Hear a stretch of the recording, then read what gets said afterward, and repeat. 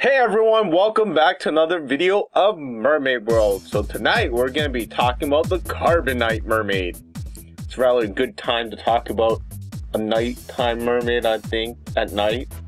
Okay, well, anyways, um, the Carbon Night Mermaid is a three color mermaid, which means that you need at least these three colors to get this mermaid. The colors are blue, red, and black. Um, this mermaid is relatively easy to normal. Hey, normal is a good word. I'm gonna use that from now on. Normal. Anyways, um, the singing time is actually three hours, so it's rather normal. I'd say it's not that really that difficult, but you need to use the fuchsia mermaid and the onyx mermaid. So one of the mermaid is uh, a blue and red color mermaid, while the onyx mermaid is the black color mermaid. What you're looking for is three hours, and if you see a three hour singing process, you should have this Carbon Night mermaid coming to your realm.